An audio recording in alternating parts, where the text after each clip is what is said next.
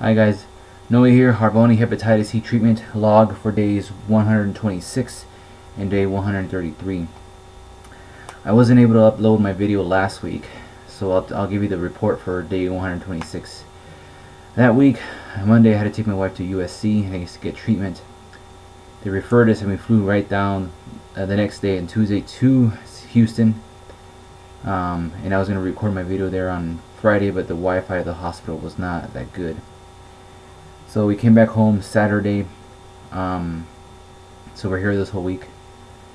The plan for my wife is for her to uh, gain some strength and get better so she can do another chemo that is uh, down the pipeline. Um, as far as me with the Harvoni, I don't believe I feel any real side effects on the Harvoni. And if I have, I think they've been masked by what's going on mentally with my wife. Um, I don't feel anything. I think I just been trying to keep my mind, you know, as on track as possible with what's going on. Making sure I take my pills every day and drink as much water as I can and eat as healthy as I can. Although when you're stuck in a hospital and there's not that good of a food and all there is is junk food, it's hard to not indulge in junk food. Um, my medication comes in next week again, my last bottle. I got 5 weeks left officially, 35 days left. Plan is I finish on the 22nd of January my pills, my medication, get a blood test the next week after that.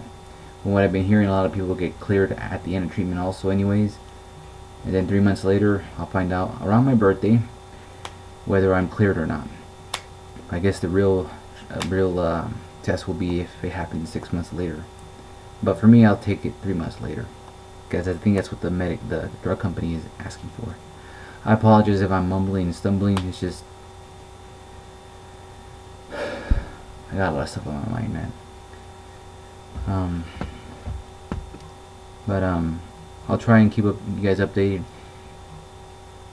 Please, if you have any questions or comments, please let me know on Twitter or Facebook. I would appreciate your comments or anything especially to keep myself busy right on my mind. Um, thank you guys for watching and have a good one.